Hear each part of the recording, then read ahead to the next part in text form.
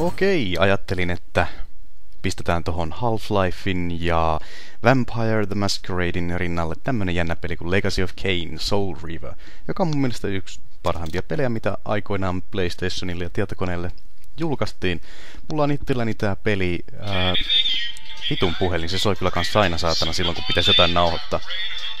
No niin, nyt on taas puhelin saatu pois tieltä ja voidaan jatkaa, eli Ää, niin kuin mä sanoin, tämä on yksi parhaimpia pelejä, mitä mun mielestäni PlayStationille ja tietokoneella aikoinaan julkaistiin. Ja kyseessähän on siis ää, toiminta, se, niin kuin mikä vitun toiminta seikkailupeli tommonen, että mennään läiskitä bla bla bla, vämpyreitä ja niin päin pois kuitenkin. Ää, itse mä pelaan tällä hetkellä tietokoneen versio ja se ei millään tahtonut toimia niin kuin XPssä ilman eräänlaista kräkkäilyä, joten mulla ei nyt ole sitten näyttää teille alkutarinaa tästä pelistä, koska jostain syystä se, tämä peli aina kaatuu joka kerta, kun se niin kuin, yrittää toistaa ne videot. Mutta kuitenkin tarina on niin, että ää, siis lyhyesti sanotaan vaan, että pääsankari, mikä tässä ollaan, kehittyi vampyyrinä ennen Kanea, ja Kane ei tykännyt siitä ja viskas sen veteen, jossa vampyyrit tietenkin kuolee, koska vesi on niin kuin polttavaa happoa niille, ainakin tässä maailmassa. Et. Joten aloitetaan peli. Tämä lähtee siitä, kun Raziel, eli tämä päähahmo, millä tässä pelataan, niin herätetään henkiin kuinkahan monen sadan vuoden jälkeen siitä sen kuolemasta. I know you, Raziel. You are worthy. What madness is this? What pitiful form is this that I have come to inhabit? Death would be a release next to this travesty. You did not survive the abyss, Raziel. I have only spared you from total dissolution. I would choose oblivion over this existence. The choice is not yours. I am destroyed. You are reborn. The birth of one of Cain's abominations traps the essence of life. It is this soul that animates the corpse you lived in. And that, Raziel, is the demise of Nosgoth. There is no balance. The souls of the dead remain trapped. I cannot spin them in the wheel of fate. They cannot complete their destinies. Redeem yourself. Or if you prefer, avenge yourself. Settle your dispute with Cain. Destroy him and your brethren. Free their souls and let the wheel of fate churn again. Use your hatred to weave their souls. I can make it possible. Become my soul reaver, my angel of death. Eli siinä oli pohjustus tälle pelille. Mun täytyy katsoa nämä näppäimet, kun mä oon yrittänyt pistää nämä mahdollisimman paljon samanlaista niin kuin tuossa mikä tää nyt on, äh, niin kuin äh, mulla olisi nämä näppäimet. Mä vaan yhtään tiedä, että missä mulla on niin kuin, no ei se mitään. Äh, kuitenkin, eli me ollaan vampyyri, äh, kuollut vampyyri niin, niin sanotusti, eli zombi tai tämmönen, millaisen nyt ikinä haluaakin sanoa. Ja mä etin pitäisi pistää stoppi tolle Keinille, koska... Space, laying a path across great spans. Koska tota noin, niin se ei oo uhrannut omaa henkeensä taikka jotain ja sen takia tota, niin kun sielut ei liiku siinä jossain hiton Wheel of Fate or, ei kun mikä hitto olikaan, en edes muista enää.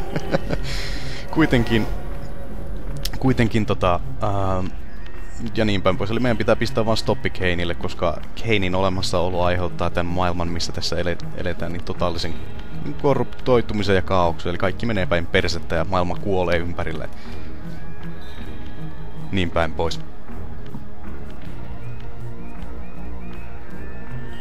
You are weak. You must feed. The old hunger has left me. I have no desire for blood.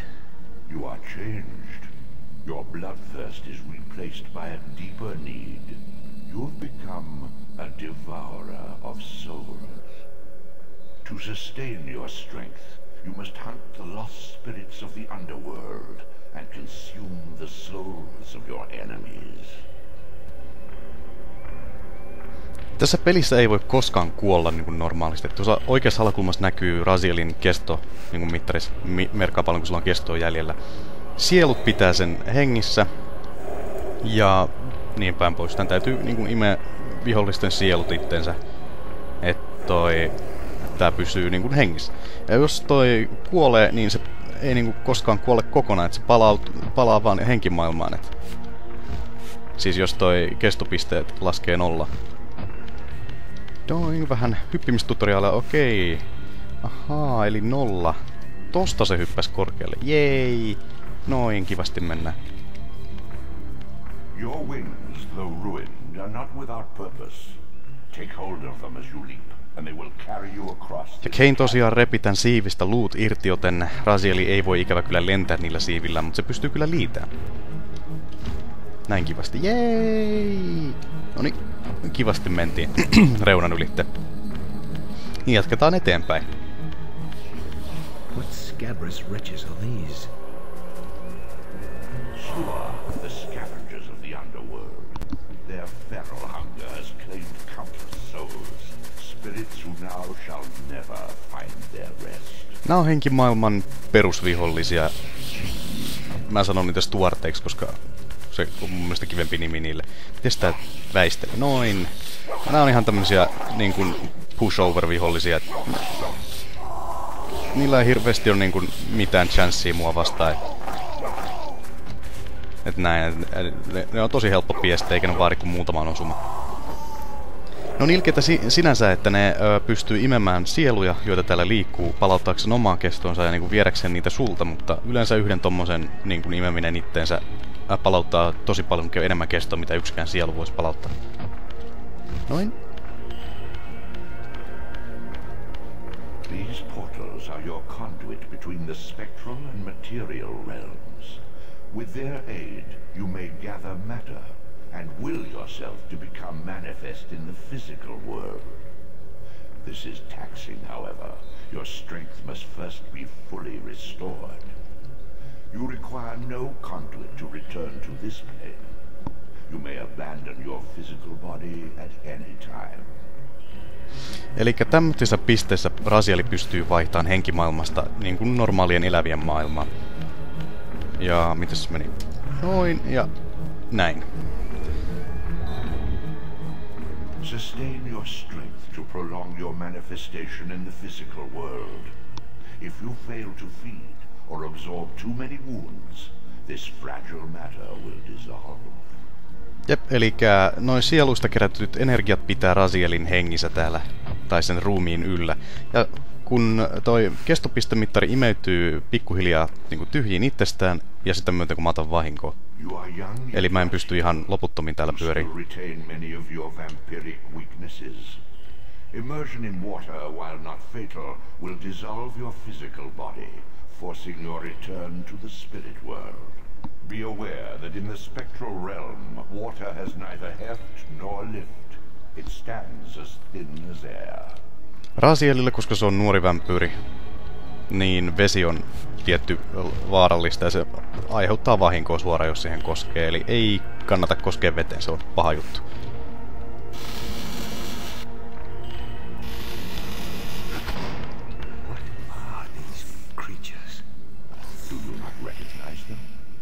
They are the children of your brother, Duma. That's impossible. These foul, scuttling beasts could not be king of our high blood. Do you suppose that time stood still for you, Raziel? Much has changed since you passed from the world of men. Okei, tässä on ensimmäinen taistelu oikeita vampyyreitä vastaan. I knew my opponent's weaknesses, having suffered them myself. Physical wounds are fleeting. Vampire's immortal flesh begins to close as soon as it is cleaved. Vampires need only fear those wounds that impale or inflame. Water scorches like acid, and fledglings are devastated by sunlight's touch. I would have to modify my tactics to suit my foe. Eli vampyreiden tappamiseen on lukuisia eri tyylejä. Tavalliset haavat ei niin kuin... Au, au, au, au, mennään ton. Tavalliset haavat ei hirveästi vampyyriä, niin kuin, vampyreihin vaikuta tässä pelissä. Et se, ne stunnii se hetkeksi aikaa korkeintaan. No niin, tulkaas tänne. Auringonvalo on kivaa. Mistä mä vaihdan? Oh, tse tse tse tse. Hey? Ha ha ha ha From the flesh, a creature's soul fades swiftly into the spectral realm. Draw it in quickly, Raziel, or you will be compelled to follow.